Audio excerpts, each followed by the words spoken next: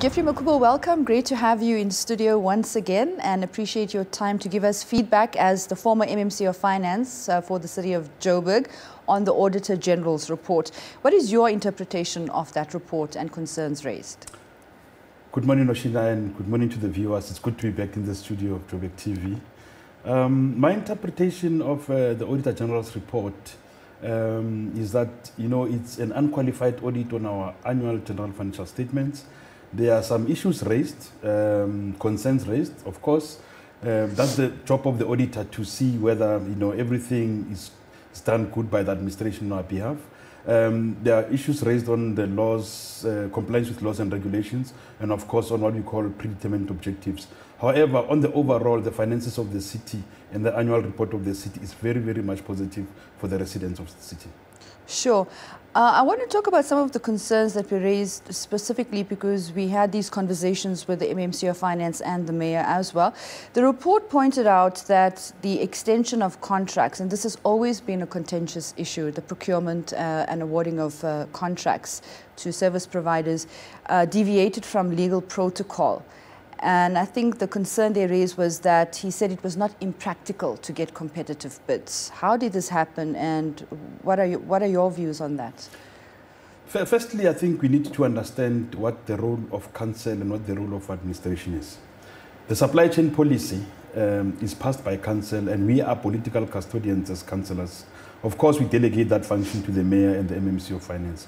However, the policy does say that there are three committees that are charged with uh, um, procurement matters. Is the bid specification committee, is the bid evaluation committee, and the bid evaluation committees.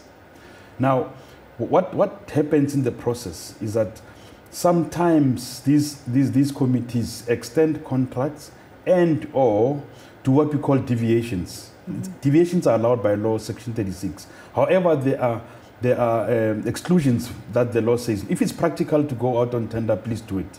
Now, the administration, when you hold them accountable, they say no, but sometimes um, we think that it's not practical because we are in that moment. Mm -hmm. But when the Auditor General looks back six months later, he says, but it was practical.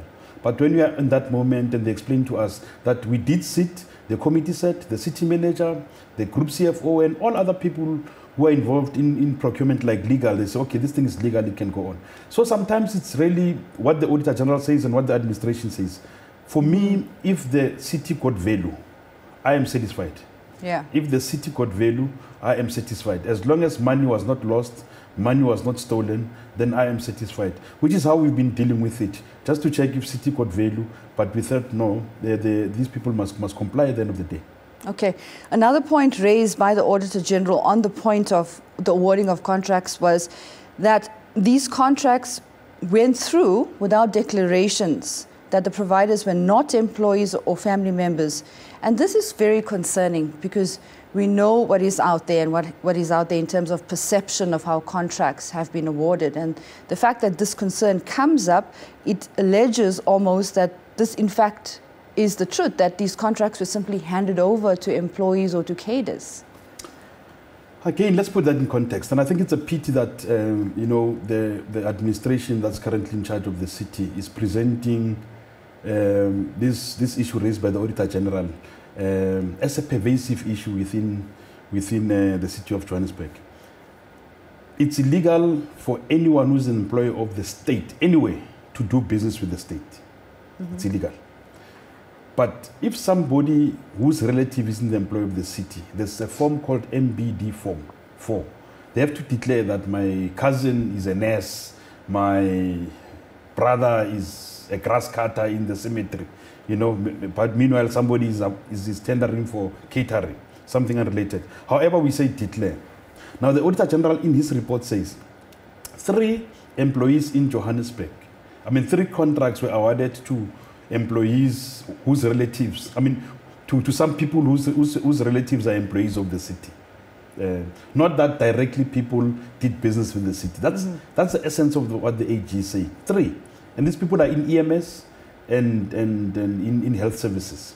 Sure. But he further says the city did not take necessary steps to ensure that business is not given to people whose relatives are in the employ of the state. And it's very clear if you look at the annual financial statements um, uh, in page 282 or something like that. It lists that we give, they gave business to a particular company, and that person's mother works for the director of that company's mother works for the city of Cape Town. So we did ask the Auditor General, how can you help us so that this does not happen? Mm-hmm. He says, no, I'm just bringing it to, to, to, to, to, the, to the awareness of the reader of the financial statements. But there is none. There is none where an employee of Johannesburg got a contract in Johannesburg. There's mm-hmm. nothing like that. It's only how it was packaged in the media that uh, it sounded as if the cadres of the ANC gave um, business to each other. But the truth is, if you read the Auditor General's report in detail, it will tell you exactly what has happened.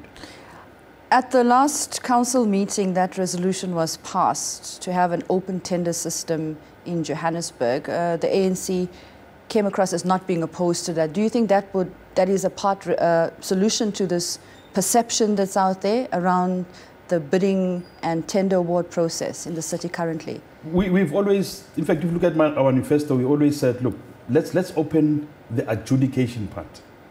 However, in that last meeting, we stood up and proposed a further resolution to say the evaluation process must go must undergo a probity process of any tender above 5 million rands and anyone below the adjudication committee can choose whether the, the contracts will go through probity process.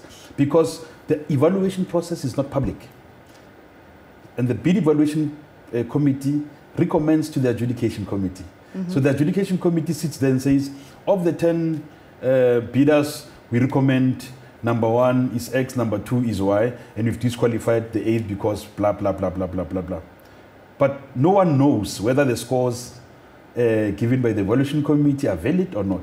That's hence we said, no, no, no, let's get probity to, to look at the evaluation process. We support this wholeheartedly, and we believe that uh, it adds to our fight against corruption and perceptions of corruption. Because remember, sure. perceptions of corruption can be real, uh, especially if they are peddled all the time and they are repeated all the time. So we think open tender system, the province is doing it, Ekurhuleni is doing it, and we think Johannesburg. Um, uh, will this guarantee a greater sense of transparency? Well, I think it will do away with the perception that contracts are, are being given out to, to cadres in the corners. Because people are going to be sitting in a meeting and saying, okay, there were 8 mm-hmm. bidders. Of course. Anyway, there's a report that comes to council that says there, be, there were 10 bidders, um, 8 were disqualified. Uh, the tender went to the particular person. But what do you say when the decision is made, the public will be there. And I think it will go a long way in, in dealing with that perception. That's great. I want to talk about one more point in the Auditor General's report. Mm. Uh, now, that I raised this with the MMC for Finance, Mr. Dagada, as well, um, around the comment that the Auditor General made uh, around the accuracy of uh, the financials. And he told me it comes down to competency of staff, and it was just negligent errors that were really made.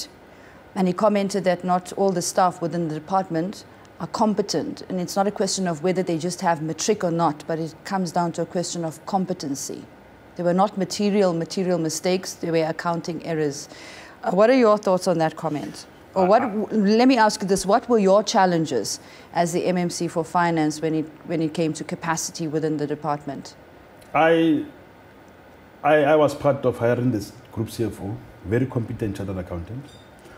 I was part of employing the group head of core accounting. Uh, I found him in the city. He's a chartered accountant. Uh, we have a chartered accountant in group accounting. We, we have competent staff. Budget office, we have competent staff at the senior level. The directors of finance in City Power is a chartered accountant. The director of finance in Johannesburg Water is a chartered accountant. So, so we have throughout the city what we think at least are competent people in finance. Now, he probably does not understand Section 122 of um, of the MFMA, which says if there are material misstatements in the financials, um, then you bring it to the attention of the reader. Now, what are material misstatements? There was a year when we knew that by the end of August, we would not have sorted out uh, certain billing issues, like um, in areas like Westbury, in areas like Bosmont, we, we, we use what they call the deemed provisions. We, we don't know how much water goes into a yard because mm. they don't want us to put meters. Communities were up in arms. So we assume that um, an average house uses X amount of water. So, so we, we have to do that calculation all the time to say what went in, what didn't go in. Diepsloot is the same thing, and all other areas. So, so, so we knew that at the end of August, when we have to submit financials to the Auditor General, that exercise would not have been done. So we said, okay, submit, but we know that we have to make a material adjustment to to fairly state the numbers. So, so it, we knew that it's not, it's not a matter of competence, it's Yeah. a matter of the process at that time.